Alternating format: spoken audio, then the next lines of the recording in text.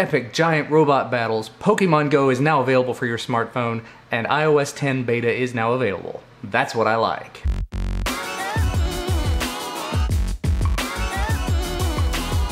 Hello and welcome back to That's What I Like, a weekly series that I do where I talk about all of the fun science, tech, VR, transportation, whatever things I find on the internet that I like. And to start things off, as I mentioned in the intro there, a little while back, a team from the US and a team from Japan announced that they were working on giant mecha robots. The things of legend, the things from anime, wow. And an article came out on CNET this week talking about how this is actually gonna happen. They're building these robots, they're coming to completion, they showed off a bunch of the weaponry, weaponry, meaning things with BBs and water cannons and, and non-lethal things, obviously. They don't want to build these things to be super lethal, but they weigh like 8 to 10,000 pounds apiece. One of them has to go on tank treads, for crying out loud. And apparently, like I said, this is actually going to happen. There's going to be a giant robot battle, the first of its kind non-deadly, non-lethal, as long as nobody's in the way and one happens to fall over. I did not see anything on the CNET article about the date, but definitely make sure to go check it out. Loads of excellent pictures, and it shows off all the weaponry and the design and everything. Just so cool, very futuristic. Nowhere near what you would expect from anime, but you gotta start somewhere, right? Again, as I mentioned in the intro, Pokemon Go is now available for both iOS and Android in the US, in New Zealand, and a bunch of other places.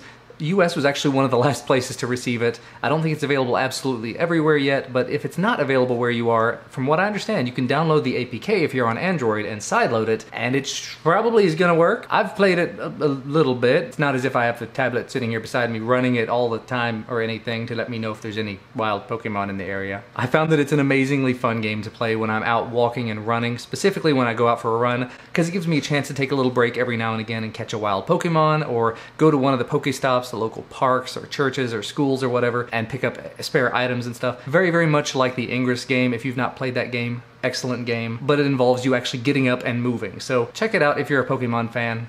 I'm not, and I'm still checking it out because I think it's fun. Now, as I mentioned in a video a few weeks back, Fruit Ninja VR, it's now a thing. And actually, as of this week, as of like yesterday? Yeah, yesterday, it's now live, it's public, it's available. It's gonna be 15 bucks on Steam, but right now, up until I think July 14th, July 12th or July 14th, cannot remember which, it's $11.99 and I may or may not have picked up a copy. I had to recalibrate my whole VR setup. I had to have something to test with. We'll call it that. So much fun, made me very, very sweaty. Definitely check it out if you have the Vive. Now, as we mentioned in last week's video, Amazon Prime Day is coming up here in a few days, July 12th to be exact. And every day up until the 12th, Amazon is doing these daily deals. And actually to go along with that, Amazon has implemented Alexa only deals. So you have to have an Alexa device, meaning the Echo, Echo Tap, Echo Dot, possibly even one of the Fire TV or Fire TV stick devices. And you go to the Alexa based device and you say, Alexa order blah blah blah. And if you do that between now and the 12th, it'll take $10 off your first order doing it. Any order over $20. And what's more, from what I've read, it actually looks like it will work on every Echo device you have. So for example, I have the Echo and the Echo Dot,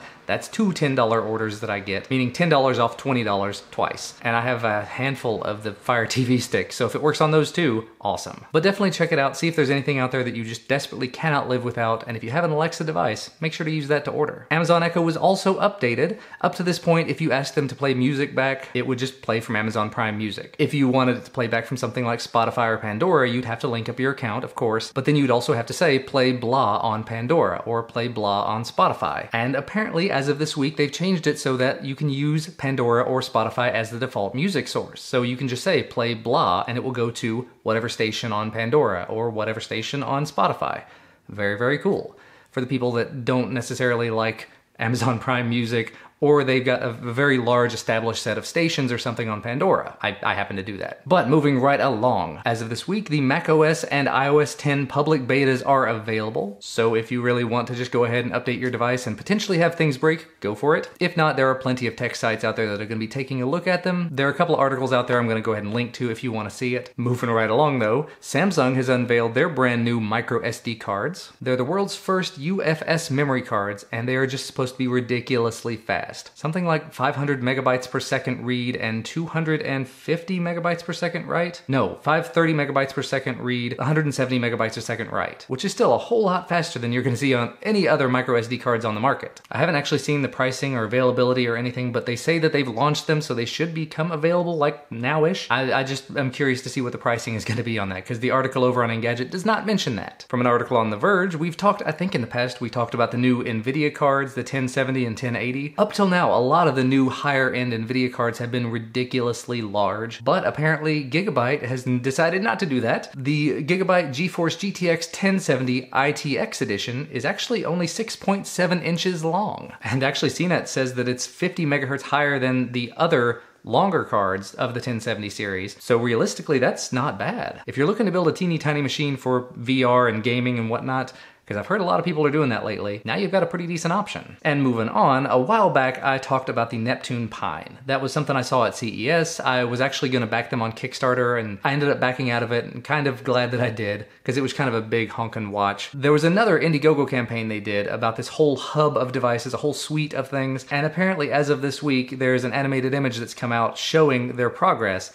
And their progress is essentially here are two tablets here's what happens when you press something on one and it happens on the other, and that it's very, very limited the amount of stuff they can do. The, the Verge title says, shows that they're like 1% of the way there. Again, kind of glad I didn't invest in it. The whole idea behind Neptune Pine, their whole concept is just amazing. Having a pocket screen and then having everything else be interactive with that, I think it's great. Linking everything together, you know, but they just don't seem to be able to get it right. I'm thinking the tech is just not quite there yet. Still, nice to see that there is progress being made. It's just Kind of a pity that it's not much, much more progress. In some Google news, Google updated Google Now on tap this week. They added in the ability to translate text from any screen on your device. There's a new Discover mode that takes what's on your screen and just gives you a whole browsable series of content related to what's on the screen. Helps you find new things based on what you're already looking at. And the camera is now going to have Now on tap powers. Although by reading about it here, it says you open the camera, you hover over a barcode or a QR code, you fire up Now on tap, and it learns more about the item there are already a buttload of apps out there that will do this, so it's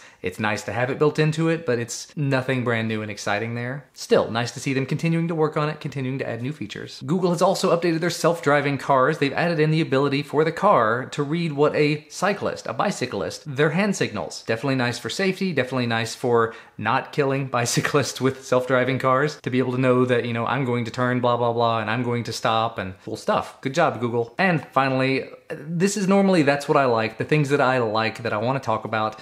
There's one story I've got to talk about though that I don't like so much, tech related. The Consumer Product Safety Commission has recalled 501,000 hoverboards, swagways, whatever you want to call them, the airboards.